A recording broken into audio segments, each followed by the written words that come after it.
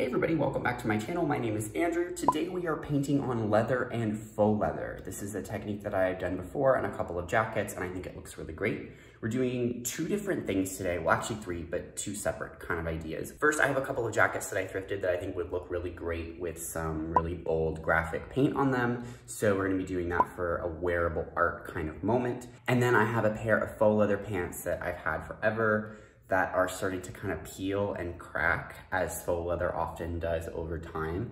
And rather than just throwing them away, I'm gonna try to rescue them by sealing in the places where it's cracking with the paint and giving them um, a cool paint and treatment in the process. So hopefully that works. I haven't tried that before. This is gonna be kind of the experimental part of this video, but um, let's see what happens.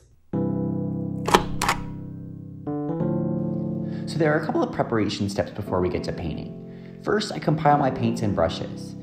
The brushes that I'm using are cheap and pretty large, although I ended up using some smaller brushes for detail as well. A 1 inch angled brush is what I ended up using for most of this project. For paint, I'm working with a higher quality acrylic paint. In this case, it's a mix of Liquitex Basics and Liquitex Heavy Body. I've also painted leather with latex house paint in the past, and that had pretty good results. That's a great option for covering large areas. I probably wouldn't recommend working with cheap craft acrylics on leather. These often dry flat, matte, and can crack, whereas more heavy duty acrylics are kind of glossy and flexible and offer the option for more texture. I lay out my design in the Keynote app since I'm working with more of a graphic design than a freeform design this time. You may remember that I used this technique for my bathroom wall project as well. Here I photographed my two jackets and then overlaid them with some images that I scaled and manipulated to get the look that I wanted. This would certainly be more effective in Photoshop, but since I don't have that at the moment, Keynote is my go-to. The black and white design was originally created for a different jacket, but when I sat down to paint, I realized that the zipper on that jacket was broken, so I pulled a different jacket from my stock box. I think the design worked better on the original jacket, and I didn't take too much time to rework it for this jacket, so there are definitely some scale and proportion issues that I need to solve later. And once the designs feel right, it's time to paint. I start with the black and white since this was a one color deal. I'll admit it was a bit rough to start. Ordinarily, I would work with a grid when painting a design like this, but that would be tricky on a jacket. So I rely heavily on the landmarks of the jacket the seams, the zippers, and edges and such to help me place things. Even still, I messed up sometimes with the proportions. Luckily, I could wipe away some of the paint with a wet paper towel if the paint was still wet.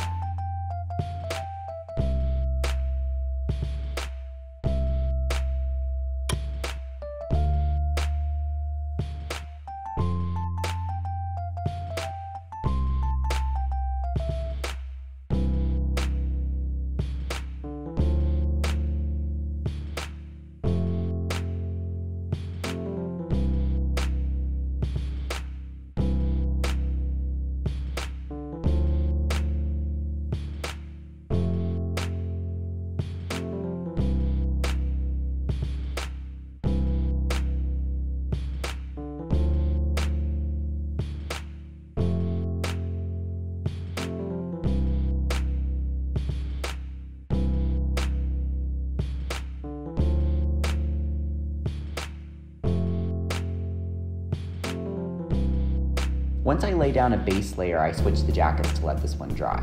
On both the front and back of both jackets, I found it necessary to locate the center point from top to bottom since there were no landmarks in that area. I marked this on my Keynote mockup and you can see me marking it here on the jacket. This was really helpful in getting the placement right.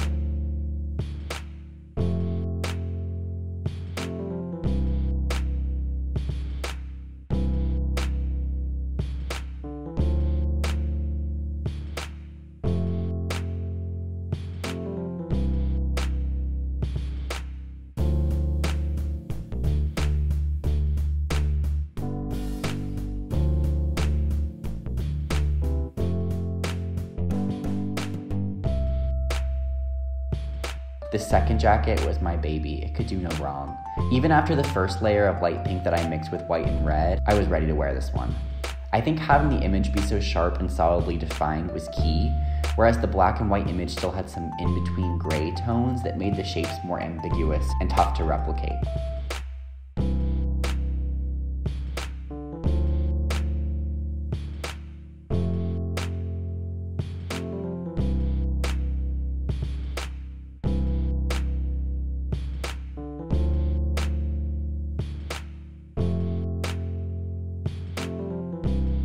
I set this aside to dry and jumped in on the pants. I went in with solid black paint to try to seal and disguise the peeling areas with the intention to add a multicolored design later. However, I didn't make it that far.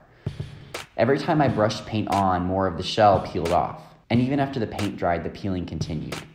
I think if I had rescued these right when they first started to show wear, the paint sealing technique would have been effective in saving them. However, these appeared to be too far gone.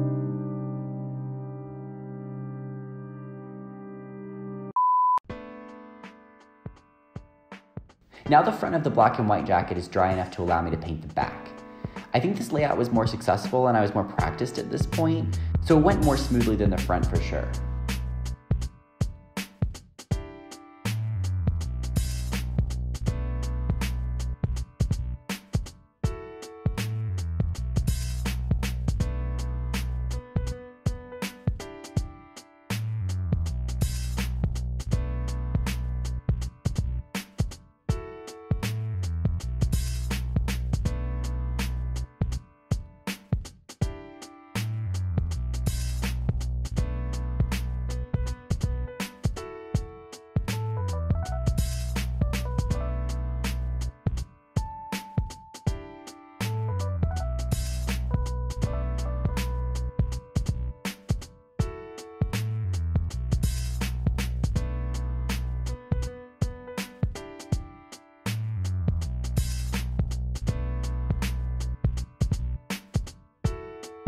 Now the back of the other jacket.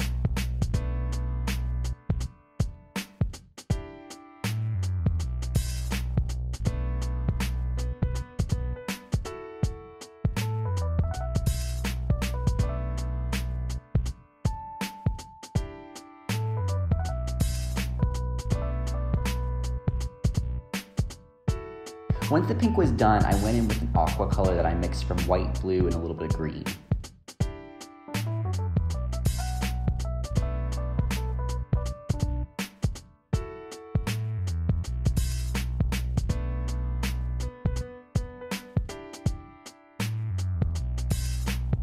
Then with red straight from the tube. Always checking with my design mockup for the placement.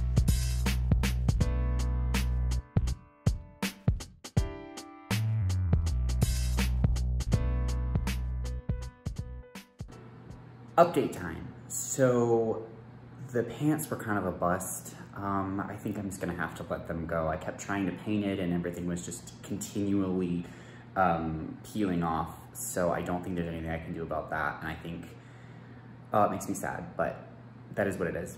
Um, of the two jackets, this one is totally rocking my world. I would wear that exactly as it is right now. Um, but I still have some more work to do on that. But something about the scale and the design really works better. This one here is struggling right now. Um, it just feels a little forced um, and not as bold and graphic. And also, um, think I really made some big mistakes in terms of where I place things on the front. It took me a minute to figure out what was going on, but I think there's some tangent lines where, like, see how the chin almost approaches the bottom and the hair almost approaches the edge. It's just like sort of sitting inside of there versus on this one, it's like always sort of exploding off the edge. So everything just feels a little like weirdly contained here. It's actually better on the back. So I'm gonna actually add something to this sleeve and modify the design a little bit to try to get some more graphic scale over here. Um, I'm gonna try to pop the white a little bit more in some areas, and then I'll try to go back in with the black and really define things. One, to clean up the design, and two, um, just to give a little bit more definition. Once upon a time, I took a sequential arts workshop, which is kind of like comic book art, which I'm honestly not that into, but I learned some things about tangent lines in a design sense that have stuck with me for many, many years. Basically, it's like a tangent in geometry. When the character or subject is right along or barely touching the edge of the frame but not passing it, it makes the composition feel static and kind of unexciting. When the subject is further away from the frame or passing the frame, the composition feels way more upbeat and alive. So I added this huge face on the empty sleeve, which is my favorite part of the design and really brought it to life. Then I go in all over and intensify the white to give the design more contrast. This was a huge improvement as well, and I really started to like this look.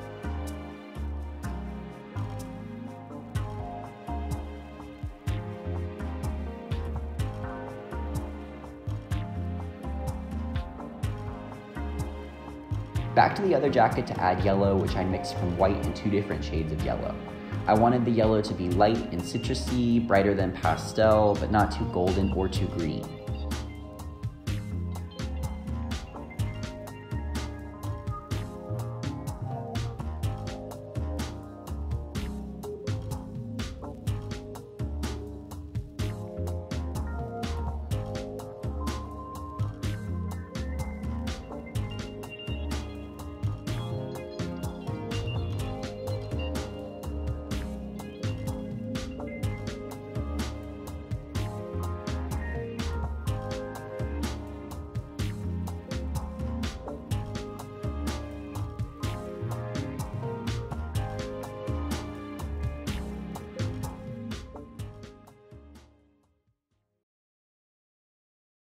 So I am back and ready to finish these up today. This guy right here is looking great. I still need to put the red on the front. Um, I'm gonna mix up some more of the blue and the pink and just kind of intensify that and do some bridging here. I've done a little bit. You can see where I connected the yellow, but I'm gonna try to bridge this a little bit so it's not quite so stark where that hard line is, you know? Um, this guy, I've done a little bit off camera here to kind of experiment with what needed to happen, and I think it was definitely some good changes. I actually ended up painting out the collar and the zippers um, and the ones on the sides as well in black again, just to kind of like reintroduce the structure of the original garment. It was just feeling kind of like overwhelming, like the painting was taking over the jacket and I wanted the jacket to kind of shine through a little bit more. So on that note, I'm also gonna go in today and paint the cuff as well as right here along the bottom to kind of reintroduce that definition again. I'll make those black. Um, also, I painted out this face here. Something about where that zipper was sitting was kind of disturbing because it was like right on the eye and it was just not good. And also that face was like a mess anyway. So painting it out, I think was a better idea. I just continued that eyebrow from the face on the side.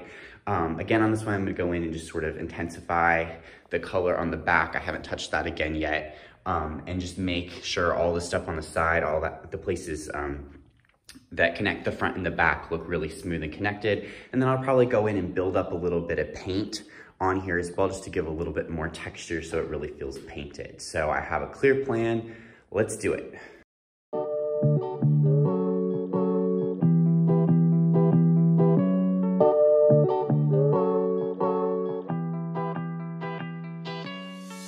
From here on out, I paint the jackets on the forms. While painting flat was definitely the best option to block in the colors, the garment is ultimately three-dimensional, so it needs to get the finishing touches in that state.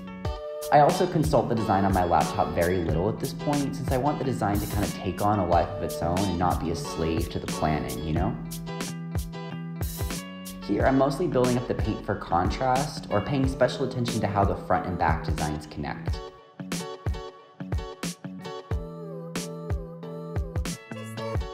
Mixing up the second batches of the blue, pink, and yellow was not an exact science, so I ended up with a bit of color variation, I kind of think this added to the design, moving it a bit away from the Warhol reference image and making it a little bit more painterly.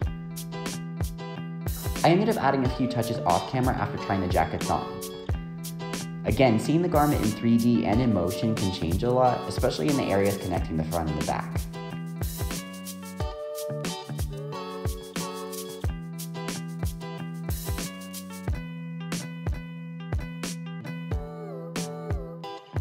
Alright y'all, the reveal is upon us.